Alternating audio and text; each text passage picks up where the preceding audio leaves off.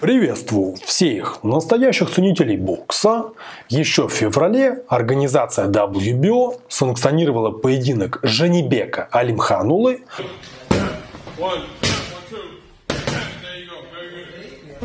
В центре ринга Женебек. Oh, he hurt. It's Look at that uppercut. opening. Oh, and there's a short right hand. Против топ-проспекта из Казахстана Хайми Мунгия. So he turned forward 16 in Mexico. And he dropped it. With that right counter shot. No, and he caught him with a massive left hook. McDonald's against the ropes. He got hit again. Все это время я молчал, потому что уже была похожая ситуация, когда Женебек должен был сразиться с Димитриусом Андраде, кстати, очень скользким, коварным боксером, но тот, Андраде, вместо поединка с Женебеком, он решил подняться на категорию выше и попытать счастья там. В принципе, имеет на это право. Но сейчас читаю новостные сводки, и все идет к тому, что даже если команды Женебека и Мунги не договорятся, то в любом случае должны пройти промоутерские торги, и мы с вами увидим бой за титул временного чемпиона мира по версии WBO в среднем весе между Женебеком Алимханулы и Хайми Мунгия. И считайте, что это прогноз на предстоящий поединок. Мы сейчас каждого боксера разберем по отдельности, чтобы понять, как именно их стили сочетаются конкретно друг с другом. Народ, срочное важное объявление. На мой взгляд, YouTube могут реально заблокировать. Поэтому пока не поздно, на всякий случай подпишитесь на мой телеграм-канал. Ссылка в первом закрепленном комментарии. Ну что, давайте начнем с Женебека. На самом деле много раз мы его уже разбирали, но сейчас попытаемся зайти немного с другой стороны. Смотрите, основная информация. Женебеку 28 лет, то есть он в расцвете сил. Э, прозвище у него казахстанский стиль, ну или казахский стиль, кому как больше нравится, казах стайл. И что мне нравится, что вселяет надежды, я вижу его показывают, например, в вечерах бокса Теренса Кроуфорда. То есть, судя по всему, телевизионщики в него верят. А, а чтобы не верить? Любительские достижения хорошие, возраст молодой, идет без поражений. То есть все круто. И, возможно, его, по сути, готовят к чемпионству и даже к звездному статусу. Теперь, как же Небек бьется? Ну, во-первых, он левша. Э, Я, в принципе, буду показывать из правши. Мне так удобней. Смотрите, так как хорошая любительская школа, то Женебек, он не пытается идти вперед и противника прямо сокрушить его, там, смять, разбить. Нет. То есть он такой весь чувствительный, он именно что раздергивает, обманывает и щелкает. Щелкает издалека под разными углами, очень хорошо подхватывает. Это именно когда задергал соперника, заставил ошибиться, заставил ударить по воздуху, провалил как бы его, чтобы по воздуху был удар, и подхватил после этого.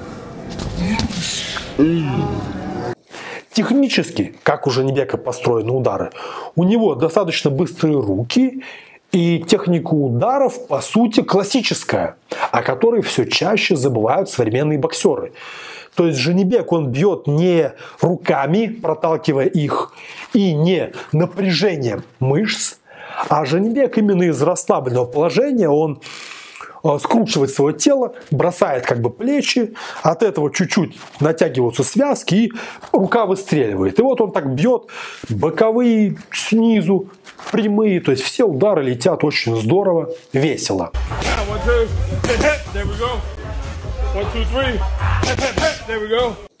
Есть ли у Женебека недостатки? Смотрите, недостатки или ну, не являются это недостатками, но определенные особенности есть. Первое. Обратите внимание, что с какой дистанции Женебек разбивает соперника. Хотя он ногами его дурит, крутит там под разными углами, он к тому же левша. И вот он его прова- ну, провалил, подхватил. Но по сути Женебек бьет не очень далеко. Почему? Потому что при ударах плечи он э, не слишком как бы сильно за среднюю линию разворачивает. И поэтому сверхдалеко он в любом случае не достанет. И он, как бы, получается, подхватывает соперников, но обычно где-то на средней дистанции, может там чуть побольше средней. Но потенциально он потенциально тоже находится в зоне досягаемости ударов противника. Вот сейчас попытаемся разобраться, Мунги это как-то поможет или нет. Вторая особенность, то, что Женебек, будучи левшой, он использует защиту плечом, использует, э, ну, фактически shoulder roll, там, или как это можно назвать. Вы понимаете, о чем я говорю.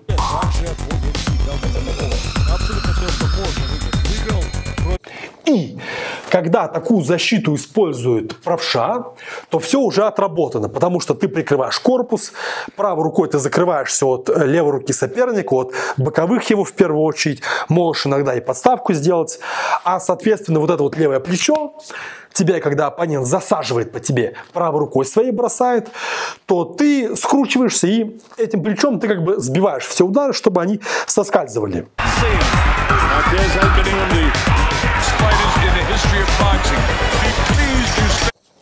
Но какая особенность? Так как Женебек он левша, и получается он не так стоит, а он стоит в зеркальной стойке. И определенный риск здесь есть, потому что потенциально правая рука, правая рука может входить как раз вот в эту брешь. То есть плечо вот это переднее, оно защищает от левой руки, соскальзывает, левая рука будет соскальзывать. Но правая рука, правая рука, если левша стоит вот так вот в шолдер роли, то потенциально, если большой мастер тебя бьет, она на самом деле очень даже может входить и попасть в челюсть. Я предлагаю на этом остановиться и перейдем к Хайме Мунгия. Можно про него много рассказывать. Он молодой, 25 лет. Высокий тоже, как Женебек. Полно у него энергии, здоровья. Нокаутов высокий процент. Короче, просто какой-то непобедимый боксер. На самом деле очень серийный, с очень прочной головой. Э, энергии вообще у него через край бьется.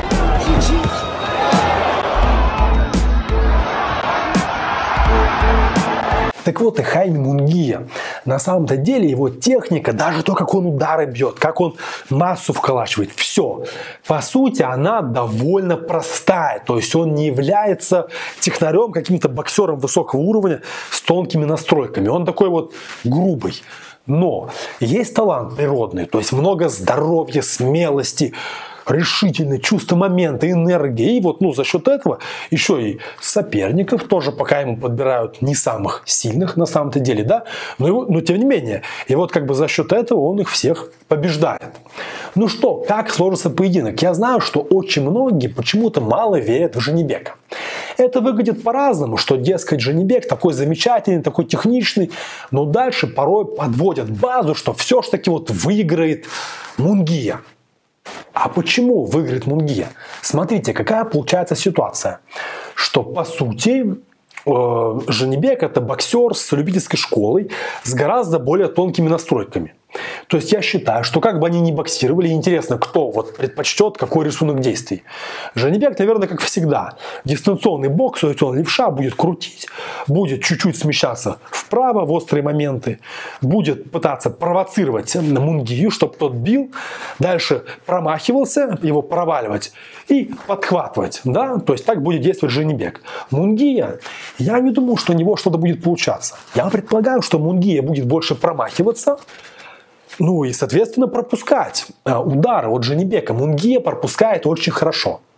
В чем теперь проблема для Женебека? Первое, то, что вот этот вот э, его шолдерол, защита плечом, то есть потенциально правая рука Мунгия, она может проходить сквозь эту защиту довольно хорошо. Но здесь тоже не все так просто. Вы понимаете, для этого прямой должен быть э, прямо такой вот, ну, ювелирный. То есть, если условно там Теренс Кроуфорд бьет, там все как нужно пройдет. Но Мунге это далеко не Теренс Кроуфорд. То есть, у него удар такой размазанный какой-то полупрямой, полубоковой. Далеко не факт, что он сумеет им попасть. И, в общем-то, мой прогноз. А, я предполагаю, что по очкам будет прям так, ну, хорошо вести переигрывать, обманывать именно Женебек Алимханулы. Да? Риски есть, риски еще какие. То, что Мунгия очень хорошо отвечает после пропущенных ударов. То есть он может ворваться, и вот он нацелен там свои какие-то удары выбросить, и он может даже пропустить, пропустить, и все равно как бы свой удар после этого ударить. Да, такое возможно. Поэтому нужно быть осторожным, нужно Женебеку когда он попадает, сразу там смещаться в сторону как можно больше, то есть не стоять на месте. Но по сути же Небек обучен, он все это умеет делать, и я думаю, что у него это получится. Поэтому мой прогноз на предстоящий поединок, это, как ни странно, именно победа Женебека Алимханулы. А вам спасибо, что посмотрели данное видео. Всем добра, до новых встреч, тушу камеру.